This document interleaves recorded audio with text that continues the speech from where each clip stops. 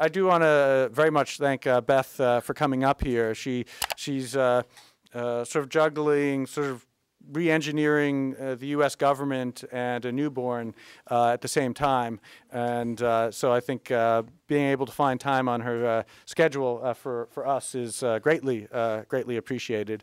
Um, she, uh, I, I, had meant to bring a, a copy of her book. Uh, she uh, she has this wonderful book, Wiki Government, which I think lays out the theory and principles of many of the things that she'll be talking about today. Beth has really been when we when we think about and obviously this is something something I think about a fair amount. The the role the the sort of basically how information technology potentially breaks down the boundaries between society and government. Uh, she's really been at the forefront of wrestling with the implications of this and how how we can really re-engineer government uh, to in some sense relax those those uh, boundaries in a way to make our our our, our government and our democracy uh, function better. And I think that comes across in her book uh, uh, Government but now she's been put in a position as uh, deputy chief technology officer of is it sorry is it the uh, White House or the uh, government I, I for federal I for, of the United States. States? Oh, that place, that place.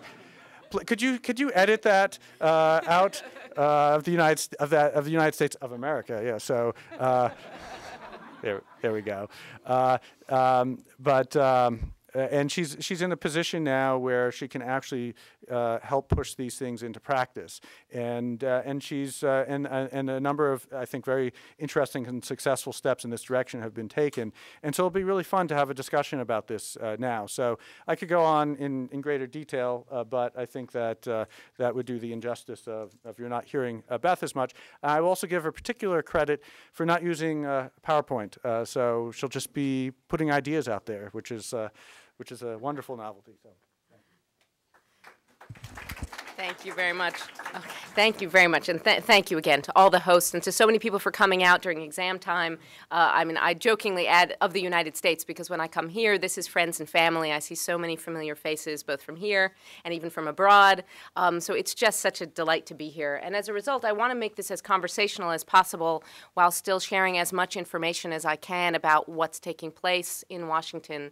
Um, but I'll invite you, please, if to interrupt me as I'm speaking with any comments or questions, um, and then we'll leave plenty of time for discussion afterwards, in part because David has strategically, David Weinberger has strategically put a piece of pizza right under here, which is wafting up as we speak, tantalizing me. So I'm going to talk really fast because this looks really good down there. Thank you very much for that cruel, uh, cruel piece of pizza. So, um, as David mentioned, it's really exciting to be in this unique position, um, as a number of people have been in the room who have been called into service pressed into service, whether from the inside, as I am, as we sometimes think as the inside of the bubble, or the outside of the bubble, um, who are giving up our summer vacations, our leisurely academic lifestyle, the theory of the leisure class or the leisure of the theory class now, to try to do what we can to try to bring change to the way that our government works, to restore faith in our democratic government and in our democracy um, and to try to, I think, stem the tide of what is a crisis of confidence that we are experiencing in government right now.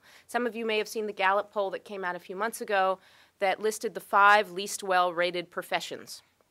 And I think you can probably take a guess at what those are.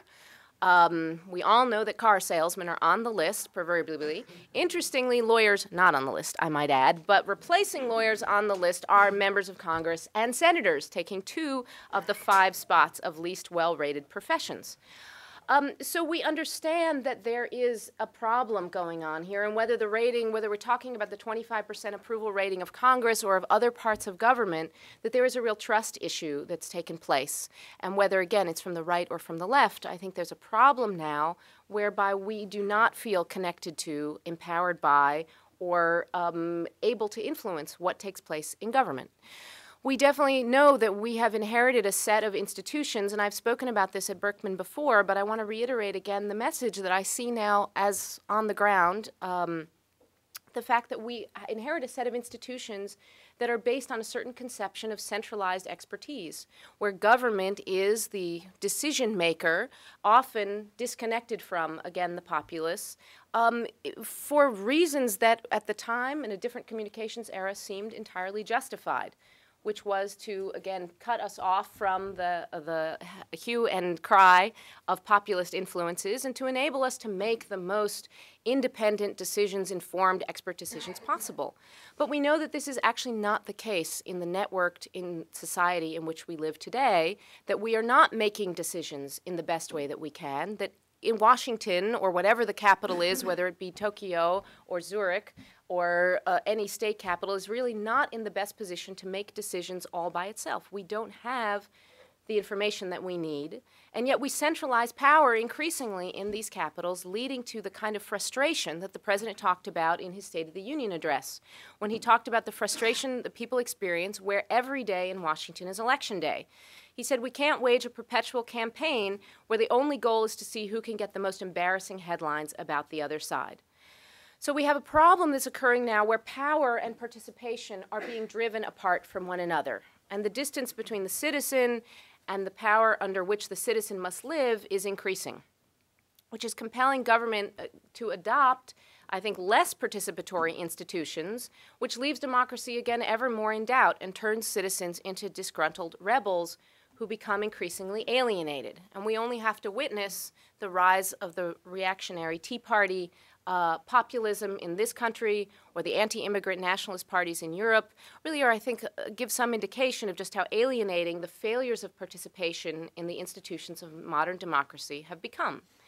There is an imperative to try to reinvigorate or invigorate, I don't know if we want to romanticize what has taken place before, civic engagement. And there was just yesterday, some of you, some of you may have seen the headline about some new papers that came out that said that civic engagement helps to reduce violence and improve public health. Just out now in the Journal of Research in Crime and Delinquency.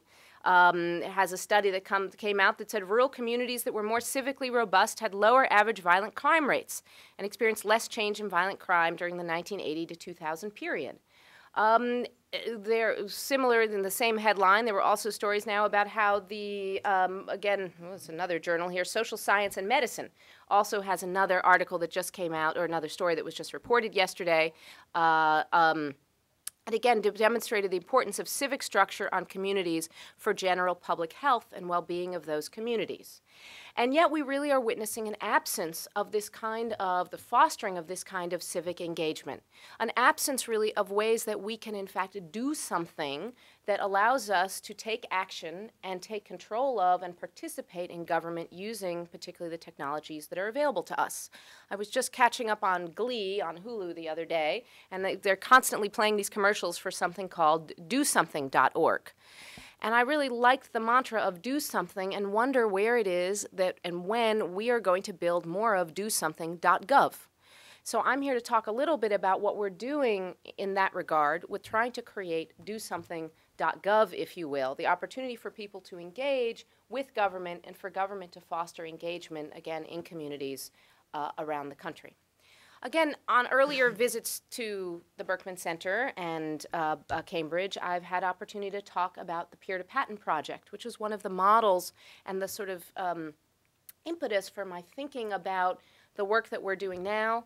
Um, and that really has been something that uh, has shaped my own thinking and has shaped, I think, a lot of the thinking that we're trying to bring to what we're doing in Washington. Namely, this for those of you who are new to the idea, um, patent system is a primary example of one of these places where we have a centralized decision maker, the patent official, and whether it's in, in America or in any other country, who is responsible in a very small number of hours for making the extremely important decision of who gets a 20 year grant of monopoly rights over the next path breaking invention, or in many cases, not a path breaking invention that doesn't deserve a patent because the, in the United States context, the examiner only has about 15 to 20 hours in order to make that decision.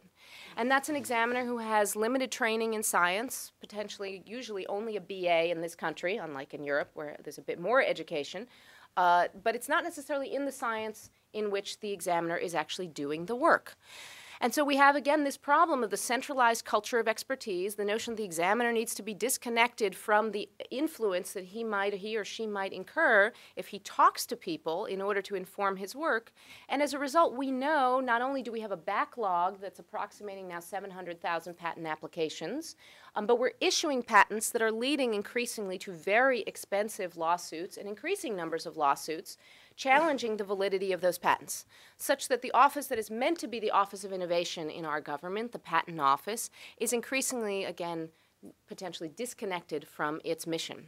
So the idea of peer to patent was to take the common social network technologies that we know and to use them to connect volunteer scientists and technologists to the government in order to help in making that decision. Or more accurately, in order to crowdsource or gather information from the knowledgeable scientific and technological public to get better ideas to inform the way the examiner makes that decision.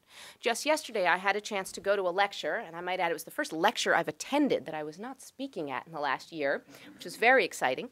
Um, something I plan to do a lot more of this year uh, about the idea of reinvigorating the notion of an Office of Technology assessment. And they put forward exactly this kind of idea that the participatory technology assessment techniques that we see particularly now in Europe, where 18 different countries have participatory technology assessment offices, um, that we can try to reinvigorate the same notion again in the US, particularly using new technology to connect people with scientific expertise to the people who have to make very difficult and complex decisions, whether it's about a patent or global warming and climate change or uh, energy independence or uh, smart grid or health IT or all the other things that Aneesh will have talked to you about, Aneesh Chopra, the CTO, when he was in Cambridge two or three weeks ago, I think, three weeks ago followed by Andrew McLaughlin, my colleague, Deputy CTO for Internet Policy, who will have also re echoed some of these same enormous challenges that we're facing.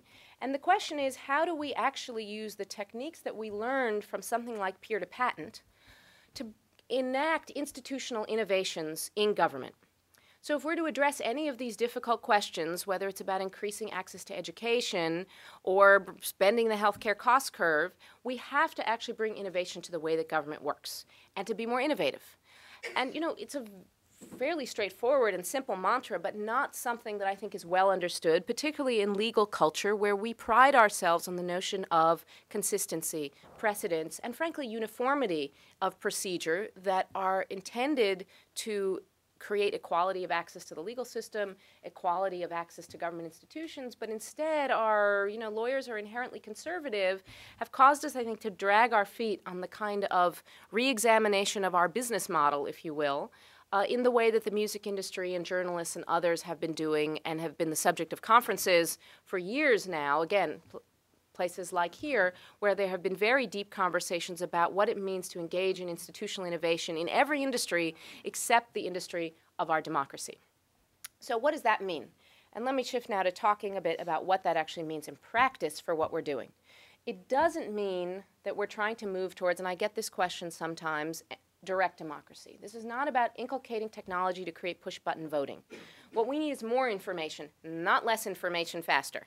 That is not the solution. Although we know that whatever we need to do needs to be done quickly and needs to be done cheaply. In this budgetary climate, we're not in a position to engage in expensive institutional innovation. And in fact, what we're looking to do is to use technology, in fact, to reduce the costs by which we deliver services um, and address the problems that we face.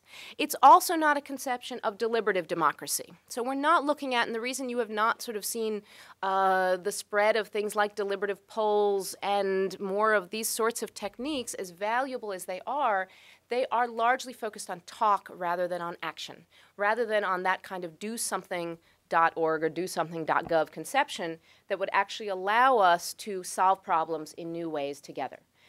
Um, it's what I like to think of as a collaborative conception of democracy, where what we're focused on is the action that we can take using new technology to share and divvy up and, and trade the work that we're able to do. And I'm glad to see that John Clippinger is here and folks from the Law Lab who are looking at exactly this question of how we use technology to divvy up and share work and engage in robust collaboration via the net, um, which we need to actually bring to the way our legal institutions work. So this kind of policy innovation is really the focus of what we're doing, and I'm pleased to report that this Friday, the White House is actually convening a summit on policy innovation focused specifically on the innovations of prizes and incentive-backed competitions, as well as open grant making, are the two themes we focus on on Friday. The Case Foundation is helping to sponsor and doing the live streaming of interviews, we'll be carrying streaming of the conference next week. Um, but I want to commend to you, it's, by the way, a sold out event. I've been told there are 200 people on the waiting list for a room that can't accommodate uh, as many slots as there are just for government people who want to get in to talk about how we could use open techniques of grant making, like peer to patent, or, for example, uh, broadband match some of you may not know that the NTIA, I don't know if Berkman or anyone else or at Northeastern you've taken a look at broadband match at all, which is what it sounds like uh, dating, broadband dating. Now, and I don't mean use of broadband for dating, I mean use of broadband to connect people applying for broadband grants in order to match big and small grantees with one another, to share and trade applications, to write a better application together. Echoes, perhaps, of the, what was the project called what Berkman had that was the Open Brief Writing Project? Years ago. Open brief, open law, open open something. Um, nobody remembers either. um, you remember where Larry had everybody working on the amicus brief together online 10 years ago. So we're catching up, right? So, um, but this idea of trying to look at more open and collaborative ways to the way that we work in order, again, to improve our functioning down the street at William James Hall, the guys in the psych department, like Hackman and Kosslyn, have written about this concept of. Um, the importance of groups, of redesigning our political institutions, and they talk more generally about all kinds of organizations and institutions um, in order to connect people to one another. As they say, we simply do not have enough genes to program the brain fully in advance. We must work together, extending and supporting our own intelligence with social prosthetic systems that make up for our missing cognitive and emotional capacities. Evolution has allowed our brains to be configured during development so that we are plug compatible with other humans better than my Mac, I might add here, so that others can help us extend ourselves. And it's exactly this notion that um, we have to extend ourselves through collaboration, and that applies equally to our institutions. And it applies as much in government, I want to re-emphasize, as it does in civil society. So when DARPA sets out to celebrate the internet and runs the DARPA Network Challenge, and says, let's, let's come up with ways to identify where the 10 weather balloons are that we're going to release. And MIT is able to, in nine hours, using simple social networking technologies and a rather sort of straightforward incentive scheme for paying people to help with solving the challenge. That's a very simplified description. Um, are able in nine hours to solve the problem, again, working together and collaborating with solving the problem of where weather balloons the question is how we then take that same technique and apply it to much more complicated problems, not just that's mathematically complicated, but from a political, from a social, from an economic perspective to address the challenges that we face. So, how are we going about this? The, having the president's first executive action, having the bully pulpit and the star power of President Obama back of the notion of institutional innovation and openness in government as his first executive action, issuing a memorandum on transparency and open government, is extremely important for the work that we're doing. So it's very, been very, very helpful to spreading this mission and this agenda to be able to go around and say, President said, President said, the President said, is a lot better than saying, some academic once said in a book that David has read, and you know, my mother, etc. Um, it's much better to be able to say that the president has articulated three principles, and I'm, you know, saying this in jest, but in all seriousness, the president is very serious and very committed to this agenda and this notion. He is, after all, a community organizer uh, at his roots and at heart who believes in this concept of people working together to solve problems. And so we articulated these three principles transparency, to promote accountability, participation, to inform and improve the way we make decisions, and collaboration to enable others to help in the way that we make decisions and to get us focused not simply on getting information into government, but getting government to articulate problems, to articulate tasks better, to allow people to collaborate on actually solving those tasks. That memorandum has set in motion a policymaking process which began with um, what we did was instead of, as government typically does, issuing a draft of a report or a policy and then inviting public comment, we started with the process of inviting public comment in order to help create a draft of an open government directive. It was a hard won battle, and from the outside may have seemed, you know, why are they using these tools? They why this brainstorming tool? Why not that one? Why this blog? Why not that one? It was a very, I think, um, what may seem very simple from the outside, like, gee, you set up a blog and had a discussion, was frankly revolutionary for the government. We were the first uh, blog with comments in the executive office of the president. Um, it was the first time, really, in any kind of an OMB policymaking process that comment had been taken in advance of creating a draft. So it was really about an acculturation process as much internally as externally such that now when I look at the open government plans and I'm fast forwarding that are being written across the executive branch by all the agencies, every single one of which is full of what, what is Washington people say forward leaning commitments, forward leaning, aka making promises for things we will do, not just celebrating the things we have done.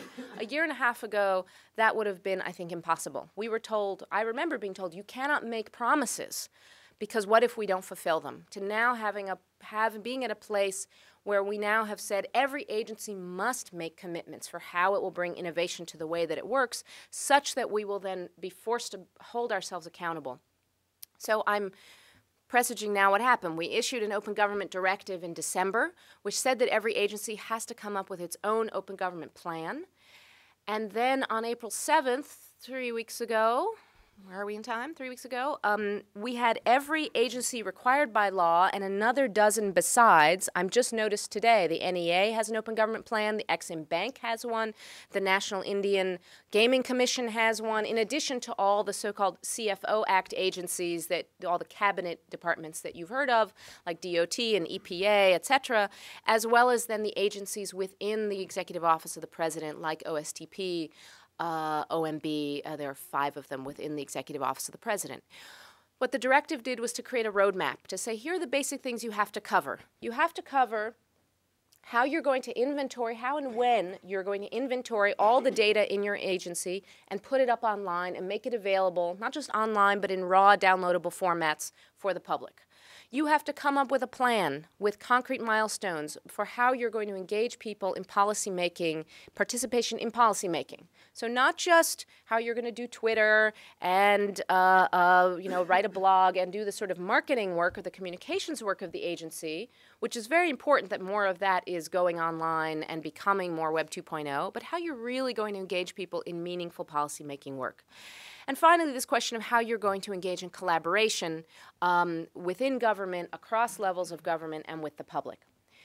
So that process now, we've just had the issuance of the plans, and just yesterday, Tuesday, we just had every agency issue, and the White House collected all of these, the self evaluations of the plan. And when I say self evaluation, it was a collaborative process that was a combination of agencies doing a self evaluation and the White House providing some. Uh, I got to you know, go back to my professorial capacity and essentially grade a lot of papers um, and go through them and say, here's how they could be better.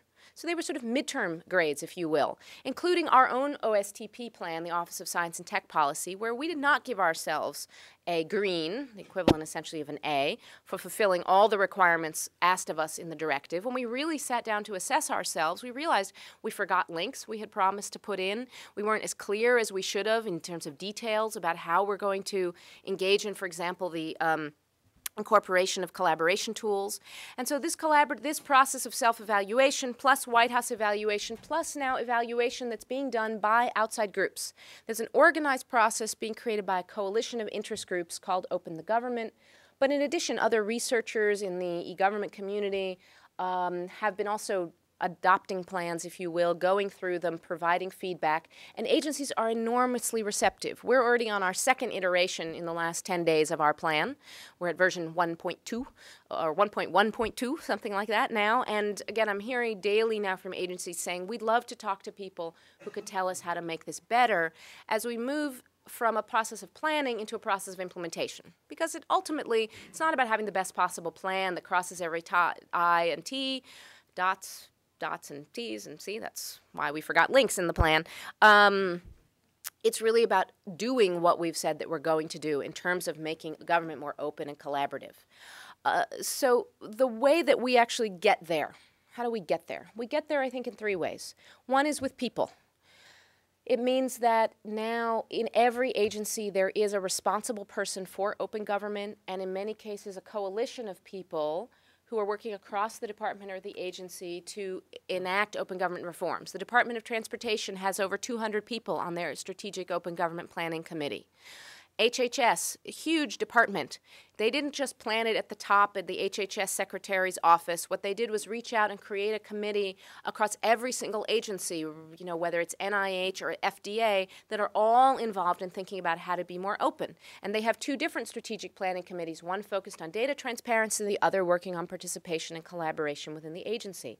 So we have exciting, I think, stories like this that involve people who are getting involved, whether people who've been there, who've wanted to do this work and are being essentially unleashed, if you will, or people who've been brought in, like Todd Park, the who's a, by the way, if you ever need speakers in the fall, wonderful person to come bring is the new CTO of the Department of Health and Human Services, the former um, founder of athenahealth.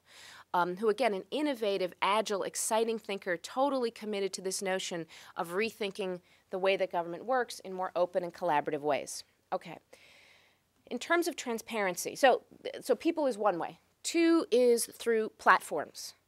Um, Tim O'Reilly has sort of made this a mantra now, talking about government as platform. Well, there's a lot of truth to this because it's one thing to have as a value or a principle the idea of transparency, participation, and collaboration, but unless you actually have a way to do it, it's really hard for people to get there. So, setting up data.gov as a platform, having a place where people could put their data, and to be clear, data.gov doesn't store all the data. It really is an index of all the data so that citizens, the public, have a place they can search for government data that they're looking for. So having those platforms, even as a kind of shining beacon on a hill, if you will, like here is the place you can go to make transparency happen in practice. Or even now the simple fact that the General Services Administration um, pre-negotiated a license for a brainstorming tool and gave it to every agency so that it could run a brainstorming to plan its open government plan was an enormous step forward, again, offering the platforms to reduce the costs and make it simpler for people to be transparent, participatory, and collaborative. So, just a few more words about some of the specifics going on in this space. So, in transparency, the goal here, as I said, is really to make unprecedented openness the default. It's things like publishing the White House visitor logs online. It's things like releasing the White House staff salaries. Um, it's things like, you know, streaming the healthcare summit uh, that we did towards the end of the healthcare debate um, and closing the revolving door on lobbyists. But I think even more importantly, it's this notion of getting data out there and putting it up on data.gov. And to those who would say, and probably not the folks in this room, but to the people who sometimes ask me, who, who wants raw data? I'm not a statistician. Well, the last time I got this number, uh, which was maybe two weeks ago, the numbers on data.gov were 64,877,378 hits to data.gov. This week, the Pew survey came out on the use of technology in government, and 40% of the respondents, 40% of adult internet users, have gone online for raw data about government spending and activities. 40%. This is staggering to me, the number for a project that was started not even a year ago. We're coming up on the year anniversary. So a lot of this data is about tracking spending, traditional kind of accountability, you know, look under the hood and see how government's spending money the IT USA spending dashboard that tracks the $76 billion of IT spending in the government, that's had 89 million hits um, that have, of people actually looking for data about how government may be overspending, uh, projects being uh, off budget. It's, it's essentially used as a way to drive performance around spending and government institutions. But beyond that, we use in the directive, we didn't simply talk about putting up your spending data or putting up data about how the agency works. We use the term high value data and with the intention of trying to define a new term that would be about data that helps the agency achieve its core mission. One of which is accountability, but the other of which is actually putting out data that helps to solve problems. So, right now, if you go online, you'll see a posting uh, that has just gone up on the White House website, and I may be getting out ahead of it, but there's no secrets in this because it's something that actually took place yesterday. Which is um, a wonderful posting by the Department of Labor in honor of yesterday's uh, holiday, which was called Workers' Memorial Day, in which they talk about the fact that they have now released in raw format uh, 15 years of data about workplace exposure to toxic chemicals. Um, the Occupational Safety and Health Administration, OSHA, has been releasing engaging in a campaign of radical transparency to release as much data as possible um, again, to help achieve the goal in this case, what they talk about is saving workers' lives. It's not about how government spends money, but if we release this data, we enable people to build the tools that help us to understand if there are chemical hazards that have been reported in a workplace, or to check if one's occupation has a greater risk of exposure to particular chemicals. It's when HHS releases its um, CMS dashboard that we can see for the first time now real spending data about Medicare and Medicaid that we can mash up and help us to understand better comparative health care, not only costs, but also effectiveness across different communities. HUD, in its open government plan, is engaged in a radical transparency plan in an effort to fight homelessness. To again put the data out there that'll help us to understand better, empirically driven decision making, how we can combat homelessness across a federal, state, and a local level. It's when USDA puts out data about nutrition, and then we combine that with launching a campaign to create video games to teach young people healthier, healthier eating habits, and 10,000 people sign up. That we take this concept of transparency and we make it real um, in terms of achieving the actual goals of government.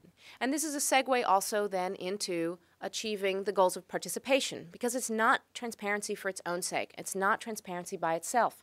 High value data means looking for data that people want, and agencies are specifically supposed to ask the public which data do you want to see first in order to get people to do stuff with that data, to do something with it, whether it's making video games or making visualizations or mashups. Um, or writing reports or whatever it may be that can help us again to solve our problems better and faster. So when the Energy Department in its open government plan talks about the Open Energy Initiative, openei.org, which is an open source web platform to make a range of Department of Energy resources and open energy data widely available to the public. They not only put the data out there, but they put it up on a wiki to enable people to share and participate back and contribute data back into the system from their own communities. NASA, as one of their open government projects that they've launched, is not just um, a move towards the adoption of open source software and a new uh, open license or the use of one of the open source licenses that NASA is using in order to be able to distribute technology out to the public, but in order to encourage people to share technology back with NASA in order to achieve, again, its missions. Um, so the participation piece is a very, very important part of it, and that includes both the you know, participation connected to transparency, as well as now looking at new ways for actually getting people engaged in policymaking to solve problems. I'll say a bit about that. I think more about that will come up in the Q and A because one of the things you should be asking me about is why we're not better at this yet. Um, one of the ways we're doing this is, and I should have mentioned this before, and given gratitude and thanks to the General Services Administration, who's taken upon themselves the role of not simply procuring pens and pencils and real estate and cars for the government as they, is their job, but also procuring software and technology, including 165 new terms of service that have been signed for social media.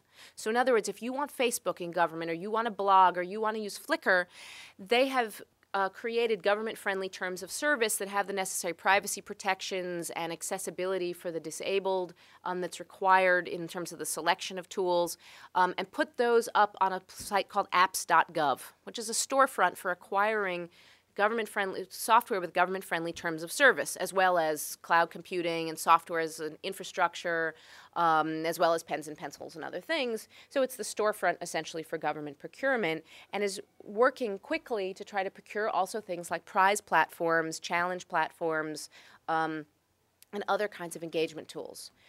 Finally, let me talk a little bit about the collaboration piece of things. So I've mentioned sort of the three values, transparency, participation, and collaboration, and the way that we go at this, both through policy, um, through platforms, and the people that are essential to making this happen. The collaboration part was very intentional. And I remember the debates and discussion about whether we should, you know, isn't participation and collaboration the same thing? Won't people get confused by what these two things are? But again, citizen participation, particularly for people who are non US residents in the room, will know that citizen participation um, is a very well established and known term in policy, I'm thinking about German media policy in particular, has a very well developed concept of citizen engagement and participation that again is about citizens talking to government. But the question about how we push the solutions out to people um, to solve problems is, I think, the really exciting new frontier. So that means that's both about connecting government uh, across levels of government. So a few weeks ago, Mayor Gavin Newsom and Vivek Kundra celebrated together the Open 311 project, the now launch of the Gang of Seven cities, municipalities that are sharing with the help and sponsorship of the federal government, sharing software across municipalities to help improve the delivery of government services. It's the work um, to do brainstorming within government, like in the Veterans Benefit Administration, where the president said we must bring down the backlog of veterans benefit claims. And so, in order to do that, again, taking to heart this notion that the best ideas aren't within Washington. The expertise is not sitting among a few bureaucrats uh, in a couple of offices within the Beltway. It's about asking the 57,000, excuse me, the 19,000 employees in the 57 regional offices of the VA, how do we solve this problem? You're at the front lines working with veterans who are coming back from Iraq and Afghanistan and waiting at least six months and sometimes years to get the benefits to which they're entitled. Within the first week of a brainstorming competition, of those 19,000 employees, 7,000 signed up and submitted 3,000 ideas, which through a winnowing process were narrowed to the top 10 ideas that are being implemented within the VA. So in a matter of a few weeks, we've moved to developing solutions to a really egregious problem. The uh, Wikified Army Field Guide, getting collaboration across the Army to write the new operations manual by getting soldiers at the front, warfighters as they're now known, um, to actually collaborate on writing the manual that affects how they operate, informed by their own experience being in the field and in, in this harm's way, if you will. Um, but it's also then about not only connecting people across government uh, or across levels of government, it's also about connecting public private as well. So when the National Archives made the decision that it would, and I know there was a symposium here about law.gov a few weeks ago that talked about making primary legal sources available to people, uh, when they talked, to, when the National Archives said, we're going to make the Federal Register, the newspaper of the executive branch, essentially, available for free instead of for $17,000. We're going to put it up online and make it available for free in raw formats. Princeton University stood up together with some folks who used to be at the Berkman Center and developed a project. Um, to actually make the first annotatable Federal Register. And uh, others like Carl Malamud out of Public Resource developed a more searchable Federal Register. And now what NARA is able to do, the National Archives, is to take the innovations that they've developed and bring them back in-house to improve the delivery of the Federal Register. And stay tuned for more and more uh, developments with regard to how we present that. It's about the President getting up in November at the Educate to Innovate conference and saying we have a national priority around educating American students in science, technology, engineering, and math. But instead of, again, government being the sole problem solver, we put out the challenge to the public and have launched, and the private sector has launched National Lab Day. You remember Net Day? So this is an initiative to get scientists and technologists to go out into American schools and to do hands-on learning on the first day that it launched, organizations representing 2 million members signed up to participate in National Lab Day, again, a collaborative initiative to help solve the problem. So it's hot in the room. We're at the end of the hour. The pizza smells really good. So I want to um, pause here and say that we are working hard to try and practice um, this notion of bringing innovation to government. But we have some challenges that lie ahead of us. We know that to really get at radical transparency, we have to do a much better job of inventorying our data, which is a hard, hard thing, particularly for agencies sitting on exabytes of data. Some of it in paper form, some of which is digital but isn't yet um, available online or available online but not in raw formats. Um, we know we have a lot of work to do, I think, to improve our capacity to do citizen engagement and participation. We frankly don't have the experience or the tools by which to do it well yet. And I'd like to think that if I came back a year from now, I hope that we're going to look back and say we got a lot, lot better at doing meaningful engagement with citizens around policymaking. And partly, it's not, again, it's not a tools question, it's an experience issue. Government hasn't been asking, therefore citizens haven't been participating. Now as we start to ask, I don't think a lot of people believe that we really mean it. They think, eh, I'm going to give a comment on a blog, but who's really going to listen to me? Is anybody really home and listening? So I think we have a lot to do to develop and mature our culture of participation and engagement. Expert networking. So, coming back to this idea of how we get expertise and particularly scientific expertise into government, we have got to learn how to improve upon the model of the Federal Advisory Committee, the notion of small groups of people who are the same group of 20 people. Even if they're now balanced and represent the public interest, it's still not as effective as, frankly, a peer to patent model where you get volunteers who know things pooled from millions of people who might be able to supply information to how we make decisions. And frankly, um, collaboration and collaboration tools is something we haven't been as experienced with using in government as we have been in the private sector. So I think over the next year, and if you read the open government plans that agencies have written, there's much more interest now and attention to getting people to talk to one another across agencies, across departments, with the public. And that means some uh, you know, tools and acquisition of tools to do so. Because there now is an acceptance, I think, that's spreading quickly throughout government that we are not the only experts, that it's a network of experts that really have the information we need to make empirically based informed decisions. But it's not simply a matter of the technocratic question of expertise and empirical rigor. It's frankly, again, a question of our democracy and restoring faith in our democratic institutions. Because I fear that even if we create lots of opportunities for participation, um, for, for creating information, if we don't celebrate this as being about the importance of democratic government and the importance of bringing reform to the way our institutions work, bringing back the trust that people have in government, um, that we will have a very hard time as we proceed through the 21st century and a new technological era um, if we don't actually take seriously the president's mission and mantra, where he said back in May when we launched this open government initiative, I ran for president because I believe that we cannot solve the challenges of our time unless we solve them together. It's an imper- imperative for the success of government, but it's even more of an imperative, I think, for the longevity of our democracy.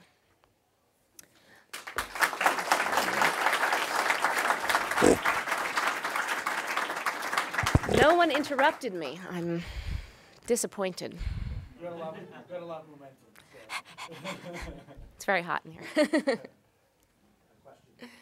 Questions, comments, thoughts? Uh, and I think there's a mic that we want to send around, right, for webcasting purposes.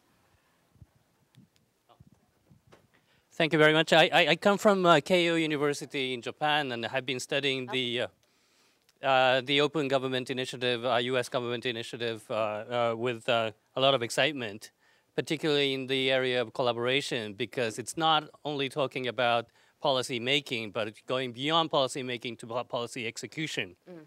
And we were very excited about that notion. At the same time, as, as you mentioned yourself, the tools and methodology for collaboration it seemed not as clear as some of the other parts. Uh, but if do you have if you have any kind of sort of strategy in terms of uh, you know developing tools, uh, methodology for you know collaborative execution of policy, I'd love to hear that. Um, so I think the collaboration. Well, let me say, there's a lot of um, there are two kinds of uh, well, let me say where we've been really successful, I think, in terms of uptake very quickly, which is when it comes to this sort of brainstorming, the kind of uh, inculcation of brainstorming techniques and methodologies, we've gotten a lot better at that very quickly, particularly internal to government. So that VA example, we started with that one project. Um, we subsequently said we're going to have a meeting for anybody who wants to come no obligation, not required by the directive, no order from the Office of Management and Budget to do so. For anyone who's interested in doing this sort of brainstorming style of collaboration, that's been practiced by a lot of businesses with doing idea generation with their employees, as well as with customers. Um, we had 30 agencies show up on a very rainy day. And that group has continued to meet of its own volition. Um, it has the unfortunate name of Ideation Community of Practice. Um, I'm not sure who made up the term ideation as a fancy way of saying brainstorming, um, but I think that's that's an area in which we're seeing tremendous, um, I think, enthusiasm. Um, and but again, it's the what's been really interesting and successful about this is that when uh, just to give the VA example again it wasn't the it wasn't the tools. It wasn't the choice of tool. And they picked a tool that cost $2,000 to implement this whole project across 19,000 employees. It was the process by which we sat down and said okay what's going to happen on day 1 when you actually ask what question will you ask people? How will you get their responses? Who's going to respond to their responses? So there was a there's almost a kind of questionnaire that we've developed where we walk through steps with agencies or with ourselves when we want to do one of these processes because it's really about thinking about the practice. Um, as a counterexample because of the shortness of time, uh, we supplied this brainstorming tool to the agencies to get the public's help with getting ideas for their open government plan. So, more of a sort of policy making process, if you will, to say what are the ideas we should have in this open government plan. Um, I think the process wasn't as well promoted as it should have been or could have been. So, having the tool by itself wasn't enough because there wasn't a similar sort of, there wasn't time to make do a similar sort of process exercise. So, I think it's really just about asking oneself those simple process questions and getting, you know, really just circulating those list of questions and getting people to think through how will I actually do this in practice. So the way that my office functions is as a kind of internal consultancy where we act as sometimes the the people who ask those questions. But what's quickly happened is, again, I'm working towards making myself obsolete, such that open government isn't a separate office, but is just describes the way that everybody works. People are learning from one another. The Ideation Community of Practice, we now have a high level agency open government working group where we've been meeting every other week. Um, and now, yesterday, I attended a workshop that wasn't called by the White House, but was I don't even know who called it, but there were 30 agencies there to engage in best practice sharing about collaboration. So there's just an enormous amount of momentum that I think started with um, the message from the president, modeling it out from the White House. You know, the fact that we started to do things like have blog with comments and do brainstorming and actually engage people in policy making so that people saw uh, it's okay to do this. Um, having the terms of service and the tools available to people. And again, we're not picking the tools now, but um, any vendor can sign up and list themselves on apps.gov and the gsa is now starting to provide more best practice sort of training about how to use the tools et cetera so it's a process of creating a, a culture um, and then creating the vehicles for this sort of sharing. One of the things we're you know we're doing more also trying to do more radio and tv that we're planning um, videos you know that we'll put up on youtube to help anyone who know who wants to know how to do something to learn from from one another. So there's just a i think it's the internal collaboration that's helping to spur some of the know-how about the external collaboration but i hope that's probably a long answer that, that didn't answer the question i hope but the answer is we need a lot of help also with learning how to with learning how to do this and getting help from outside too please hopefully to follow that up, Would you mind introducing yourself? You don't have my to. name's but- David Allen. If you want an organization, look at idru.org. Uh, as I said, hopefully to follow up and uh, hopefully productively to bore in a bit uh, on brainstorming, but particularly uh, its uh, steps after. Hmm? Uh, you, of course, have described taking comments before you had a draft. Uh, the interesting question is what happened then? How did you pull a coherent document together? How did it go? What was involved? Hopefully, to learn lessons so we can all move in such directions. And to presage on that event, uh, going to your Veterans Administration example, uh, we notice that you point out that with many, many thousands, I think, of suggestions in hand, those were winnowed. That suggests some central action, some small, maybe one person making a decision in the end about which of these suggestions are going to be useful. That's not to say that's the solution, but if we can talk a bit about practical steps after the brainstorming, what's actually involved, then to get something coherent So and move ahead with your problem solving. Uh, so quickly on the VA, um, on the VA example, they actually had because they have 57 regional offices. These ran as competitions within each office. So it was, and then the best ideas got passed up, you know, passed up the food chain, if you will.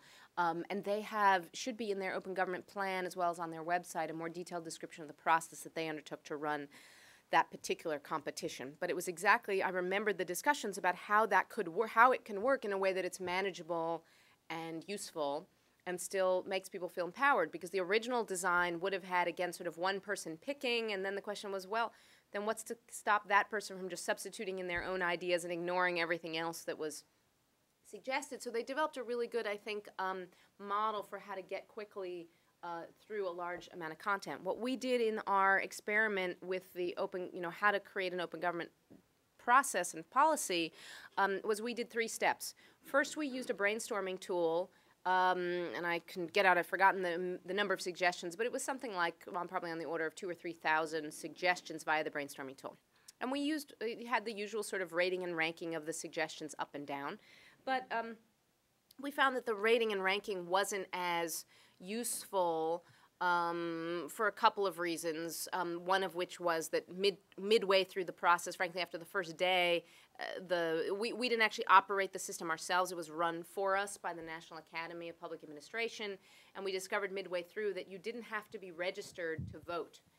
So we turned on the registration system midway through because it really does skew the system if you don't have to be registered. If people aren't don't have a sense of accountability in the process. Which so if I were to do it again, I would require registration and, and have said this to agencies who undertake similar processes. We took the 3,000 suggestions, which the, one of the things the brainstorming tool does is it allows you to label them by category. So we knew at least these ones were about transparency, and these were about participation, and these were about collaboration, these were about tools, and these were about policies. So we had them sort of in loose buckets. Um, and then what we were able to do was we grouped them into 16 themes, 16 questions.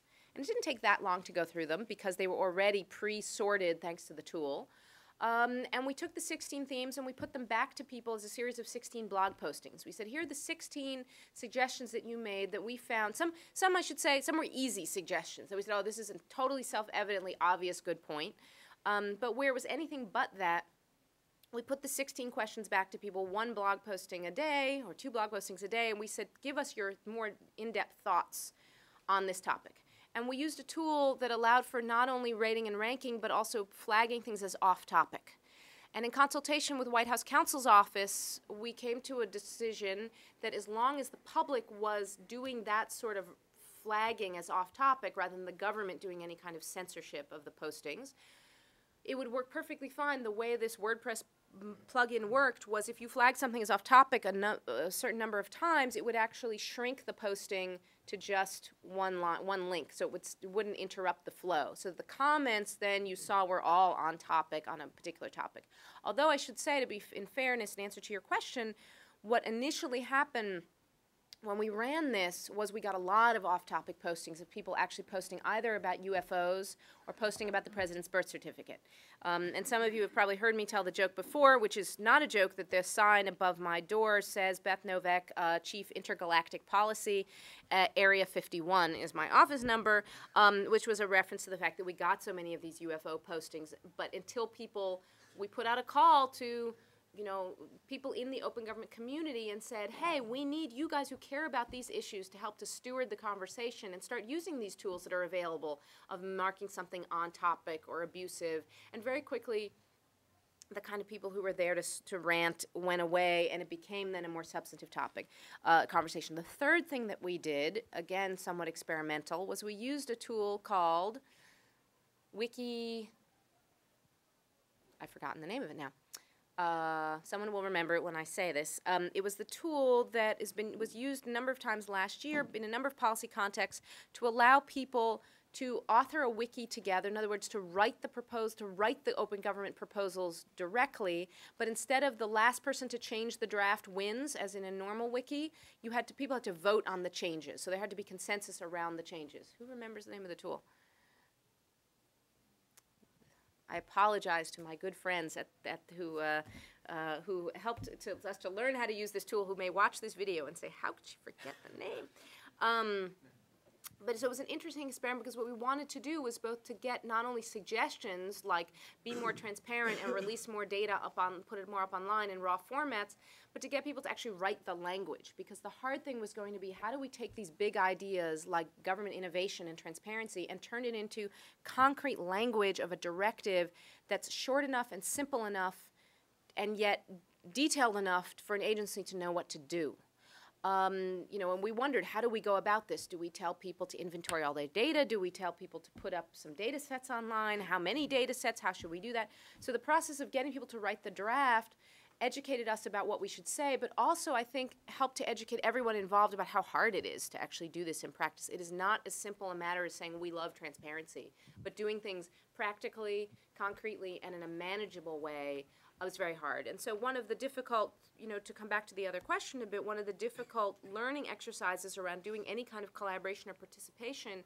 is how to winnow a lot of material into something that's manageable.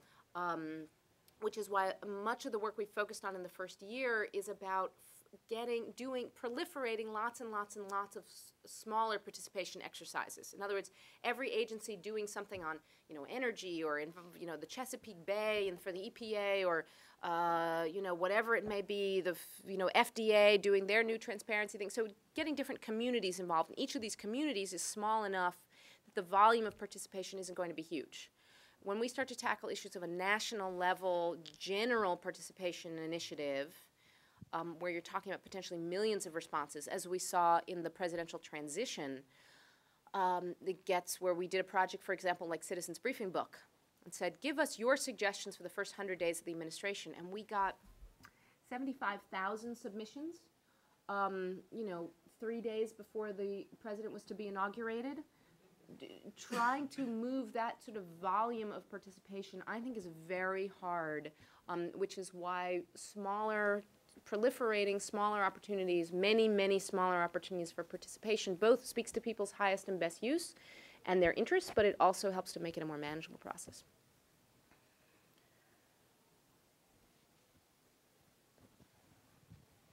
You have the mic, so you, uh, you're, you're moderating. Thank you. Thank you. Thank you. MixedInk. Mixed ink. My name is uh, Alwin Bosser. I'm from the Netherlands. I'm here with VisNext. In the Netherlands, we have also a number of initiatives uh, trying to involve uh, people in uh, policy making. And it was also started to increase the trust of people in government. Uh, now, as, I, as you uh, started your, uh, your presentation, you also mentioned that senators and another group, I don't recall, are not very well trusted, so to speak. and I read your presentation also that this initiative is at least partly to restore trust in the government. Now, I assume that there are limitations to, uh, to the extent that people can really get involved in policy making.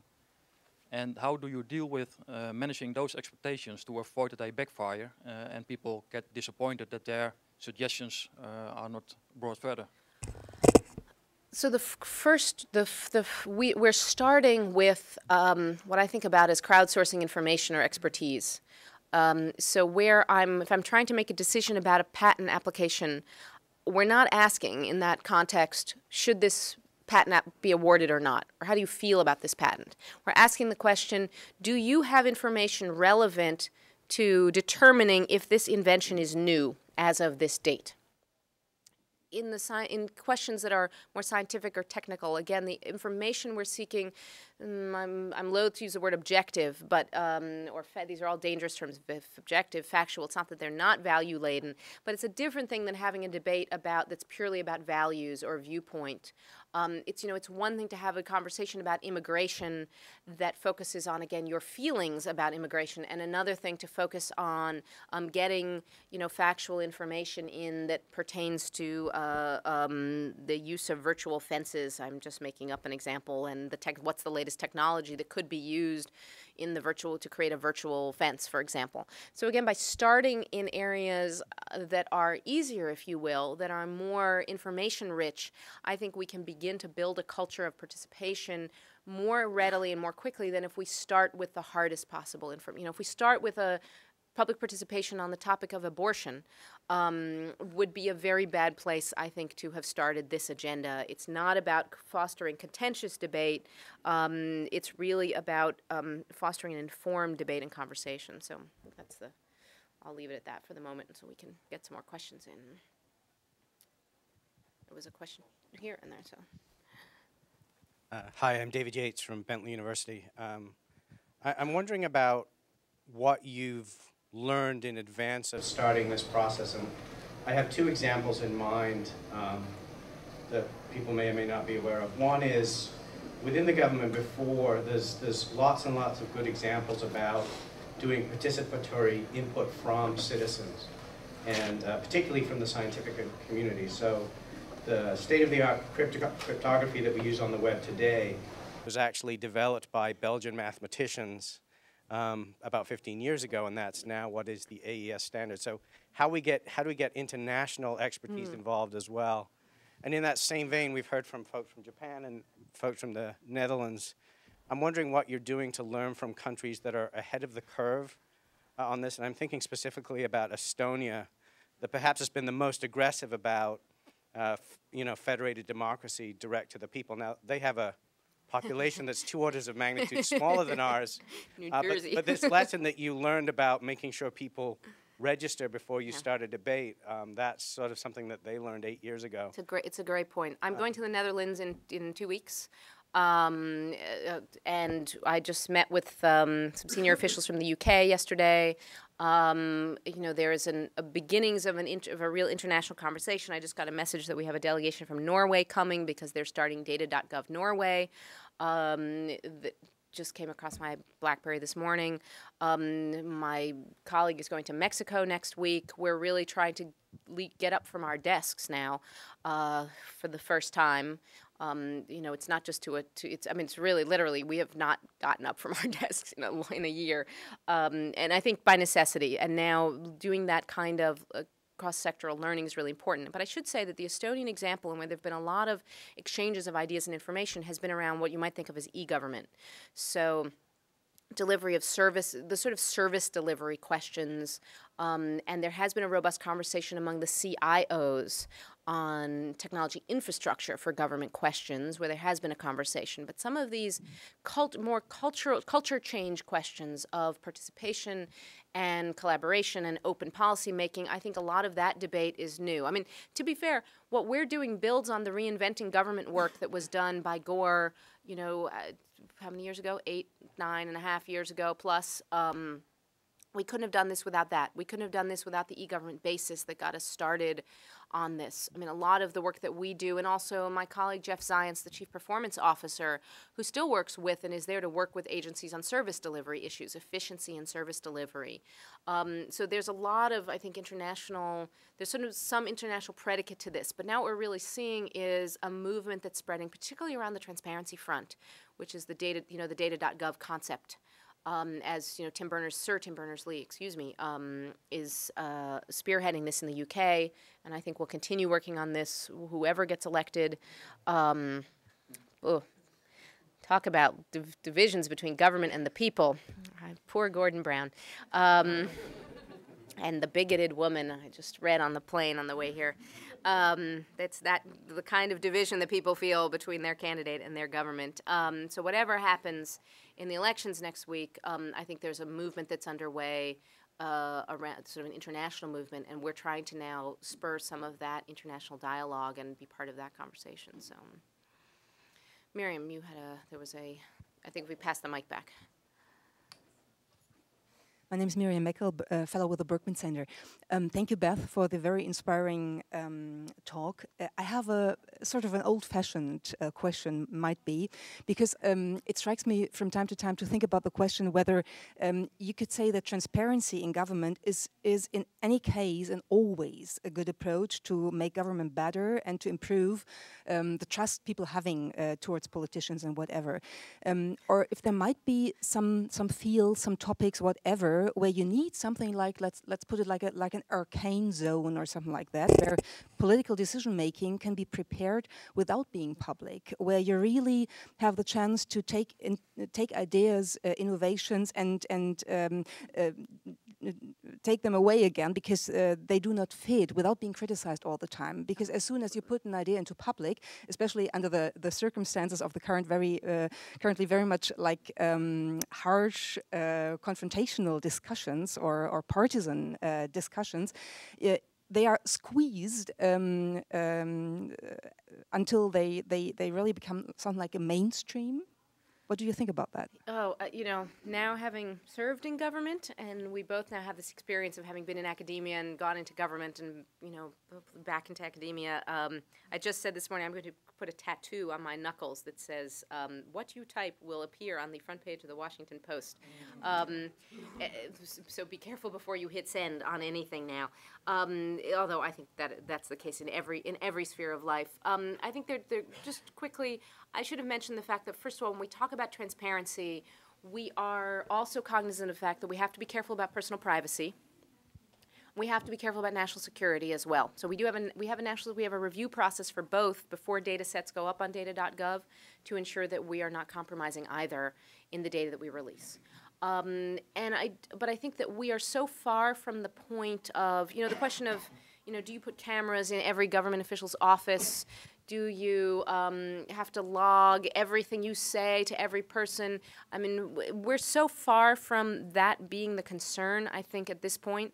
We still have, I mean, in a way, I'd rather err on the side of, you know, I talk constantly about transparency and openness um, because we just have to get people over the hump of even sharing the things that they should be sharing, like basic data about healthcare and energy and the environment that people need in order to make informed decisions. Um, I don't think we've had yet, and, and, we do have this back and forth, of, you know. But but again, the way we make decisions, I see the value of being able to have closed door brainstorming, where you can be really stupid and stay really, you know, come up with dumb ideas and float them. And we want to, I mean, ultimately, I mean, you're absolutely right to raise this because ultimately what we're trying to do is foster a culture of experimentation and fearlessness. Um, and if people feel that everything will be scrutinized, then they won't be able to do that.